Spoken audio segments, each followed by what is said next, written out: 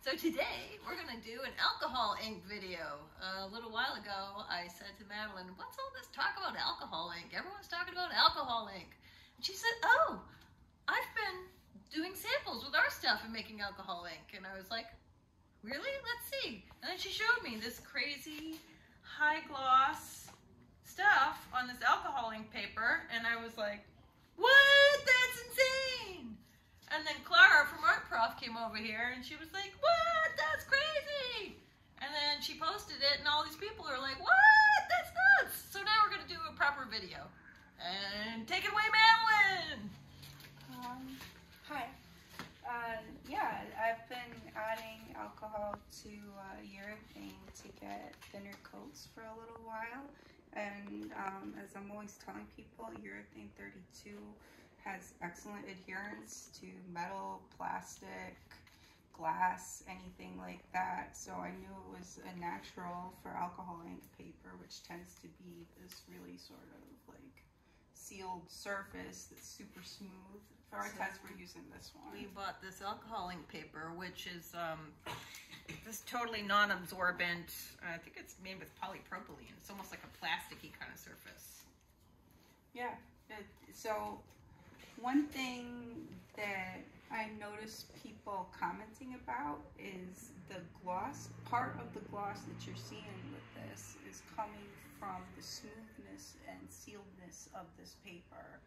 Uh, this this finish is reflecting what it's on. If you're on a rougher surface, a more absorbent surface, it's going to look really different. And we have samples that illustrate that. That's just totally. This is the Aquazol here, which is different from the urethane. I know there's some confusion about that right now.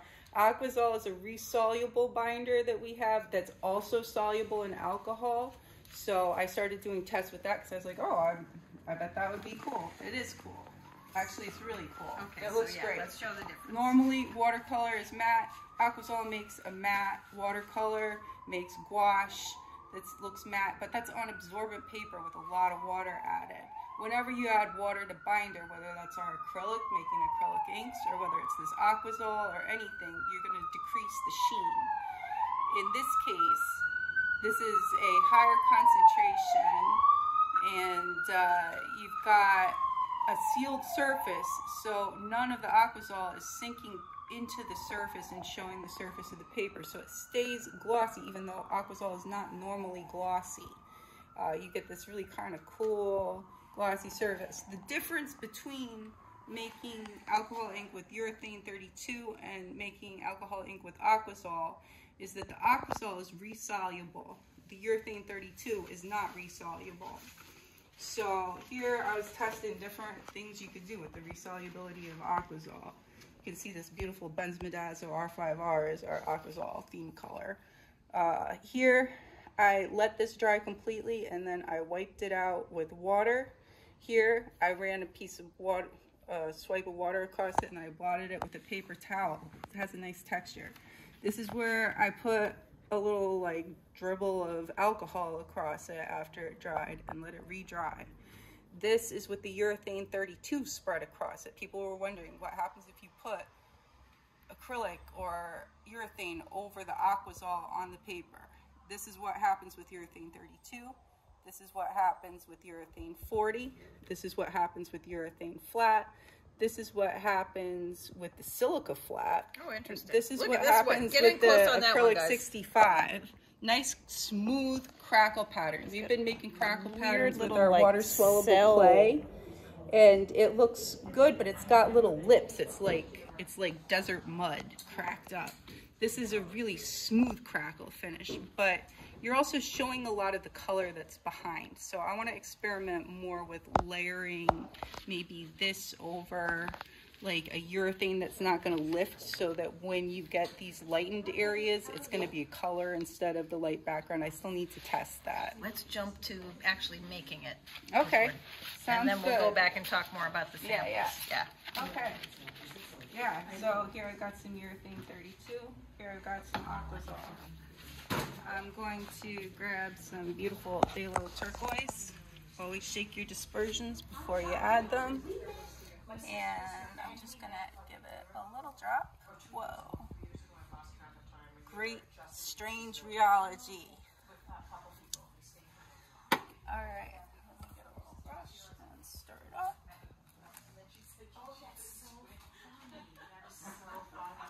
So this is just straight urethane. I haven't added any alcohol to this yet. I just want to show you how it paints out on the paper. Whoa. Absolutely beautiful, like urethane always is. Urethane 32, I usually try to let people know there's like a minimum film thickness for the self-leveling to work. If you use it right out of the bottle, you want to have one of these thicker coats if you want it to have really good self-leveling. If it's a really skimpy dry coat like this, you're going to get a little bit of streakiness. It's self-leveling right off of the brush.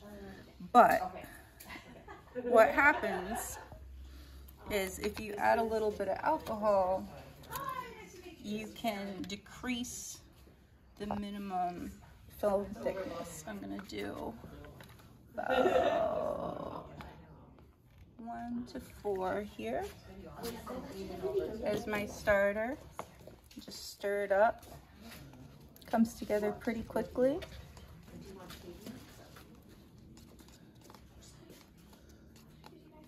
And ooh, So we're talking to customers. Which one are we doing right now? we're doing the 32. So this one is 32 by itself.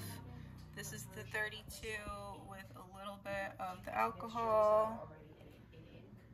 I feel like I could kick up this color. Good thing I'm working with pigment dispersions.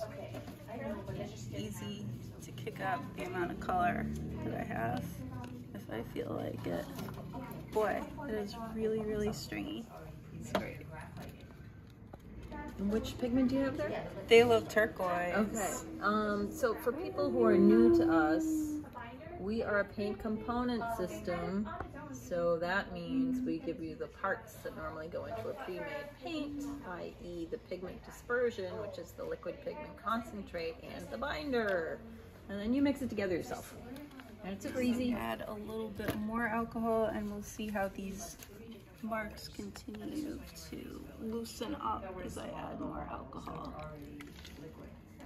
Oh, sorry, I'm like punching the camera.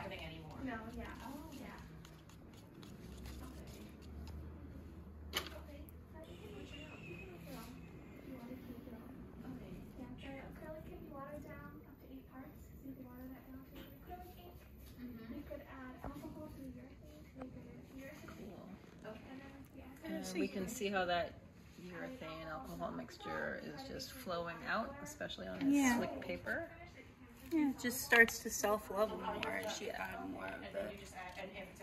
I'm being more conservative because I made a bigger batch here.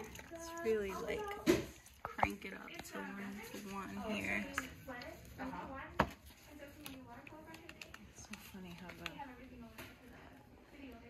what's that? The phthalo turquoise. Mm-hmm. It looks so different on the screen. Are Really? yeah. It What's doesn't it look as, like? Doesn't look as green. Huh, that's crazy. Yeah. You can see that I added a bunch of the alcohol to this one, and so it's really, really flowy now. The copper and the phthalos makes them look a little different on camera. Hmm. I'm just gonna be hedonistic with paint here. But also, just to show um, how it looks when it's got something that's a little bit contrasting in it. I'm just gonna add a little bit of this super shine silver here. Oh, super shine, yeah. Let's make it sparkly. And I'm just gonna drip it in.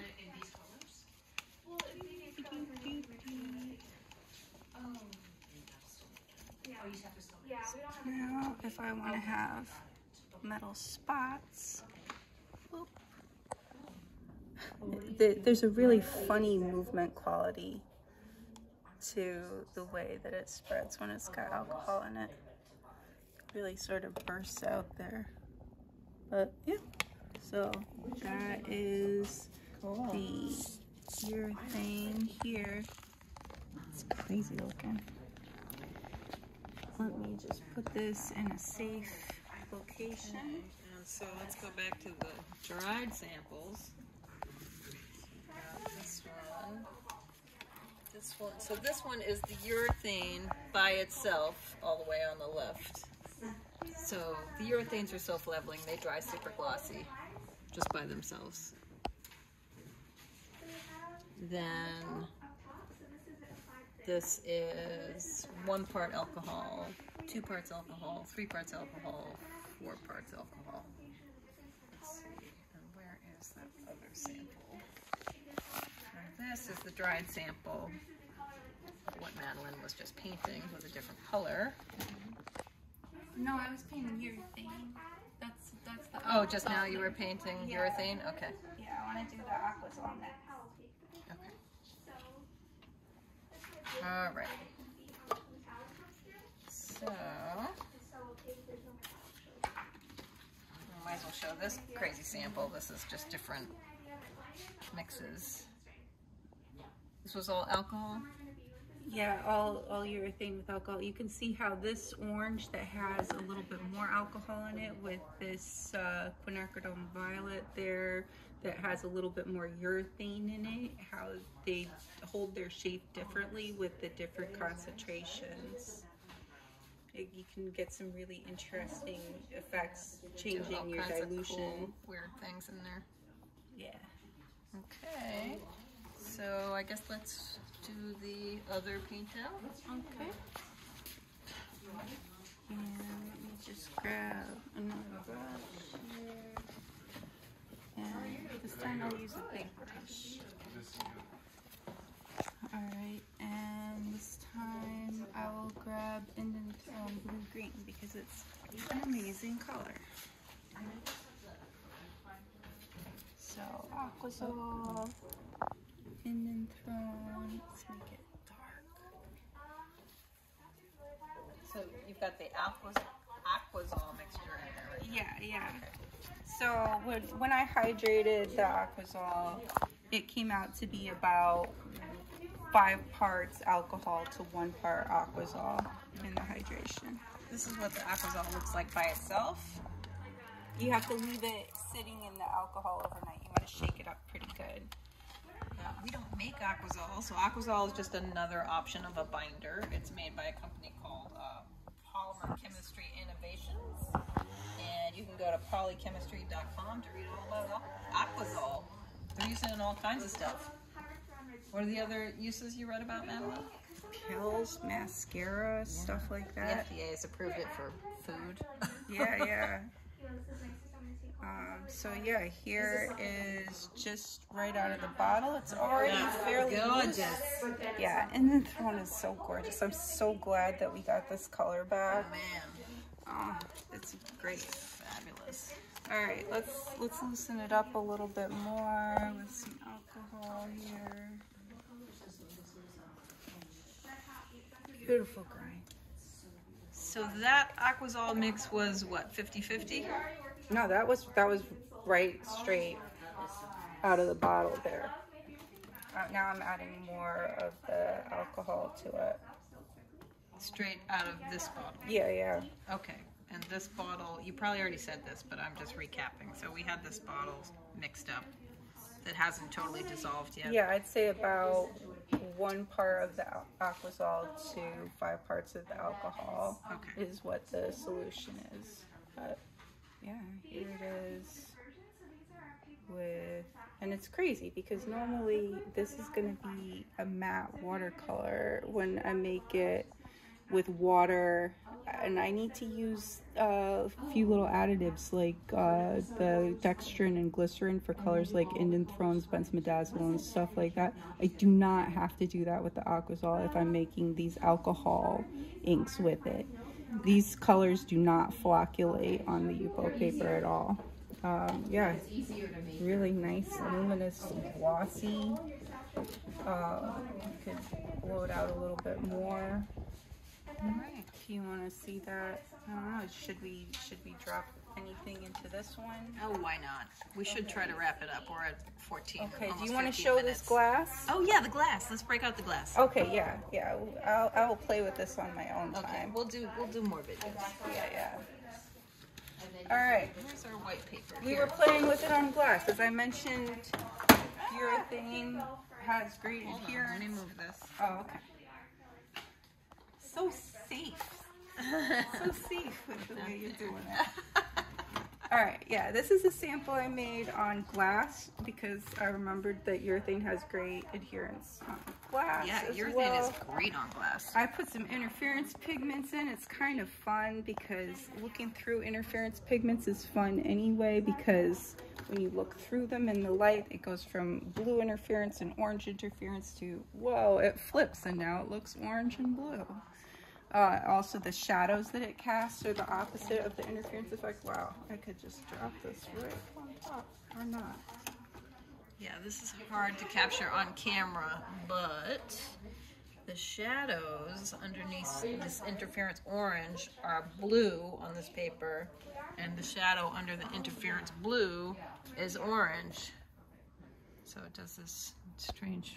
I feel like the real star here is this quinacridone violet. I mean, it's a transparent pigment. It's so. I mean, I could clean this glass a little better, but yeah, it just shows off the undertones so beautifully. I'm like totally in love with it. I gotta do. is one of these the urethane? This is the urethane on this side. This one over here is the aquazol. okay, So so this one's resoluble, this one's resoluble. and this one is not. Yeah, and also it cuts really nice with a razor too, which is a great thing. Oh, It's so much nicer than tape lines. Yes. Um, well, I mean, tape would be nice too, but it's nice to go in and be able to scrape out stuff you don't want to do. It looks great from the other side too. Nice, nice and clean, no smudgies. Beauty. So there it is. That's my story about. All right. Well, thanks, Madeline. All right, Thanks for filming. Marco. Thank you, Sarah, for letting yes. me play with. Of course. We'll do more. Okay. Sounds good.